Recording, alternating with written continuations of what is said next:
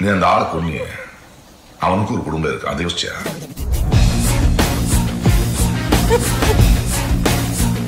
பசங்க எல்லாம் சேர்ந்து அவருக்கு ஒரு பேர் வச்சு. ஏ தண்டுமணி! தண்டுமணி!